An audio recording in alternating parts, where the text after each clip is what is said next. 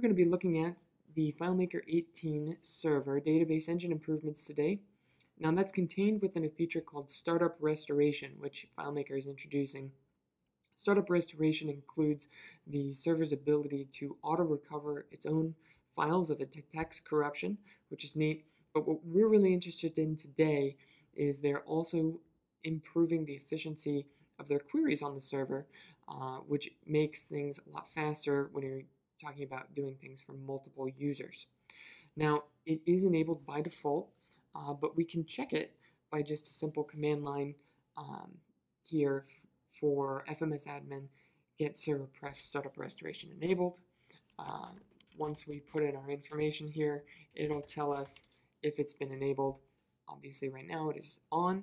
Uh, the default is on, so we can go ahead and run along with this test.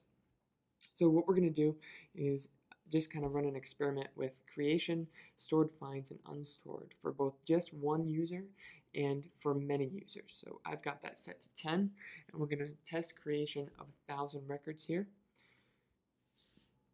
So the reason we want to test the creation of records is because startup restoration does add a little bit of overhead every time you create a record. It's adding uh, a piece to a transactional log every time we make or edit a record which can add a little bit of time. So we'll talk about that here in a minute. But uh,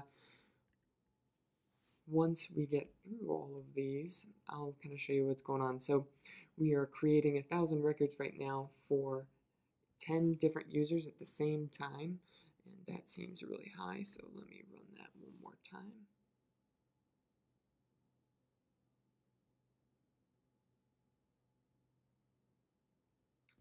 That's a lot more uh, close to what I would expect here. Okay, and we'll go ahead and run an unstored find. So we're doing 10 simultaneous unstored finds on about 125,000 records or so, uh, which is the same find we just did for the single users. So we'll see how long that takes server to complete per user. Okay, so it took about 13.65 seconds per user, uh, which isn't too bad actually. Not ideal, obviously, but uh, for that many records in an unstored situation, not looking too bad. So now what we're going to do is compare this to having startup restoration off. And the way we're going to do that is to turn it off. Um, so instead of setting this to true, what we're going to do is set it to false. And when we make that change, anytime we're switching between on and off, we do need to restart the server.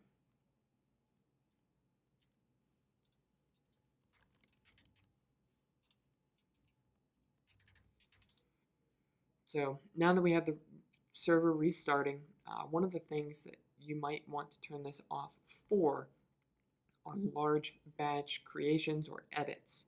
Uh, and like we just kind of talked about, the reason you would want to do that is because of the overhead involved in the transactional log, which is what allows us to do this. Um, so you want to keep that in mind.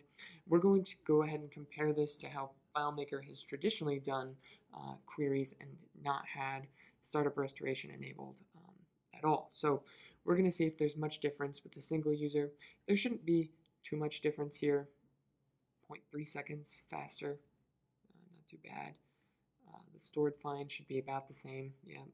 And the unstored find should also be right about the same. Um, might be a little slower, um, just kind of depends. Right about the same. So what the, what we expect to see a difference in is this multi-user. So the creations should be mildly faster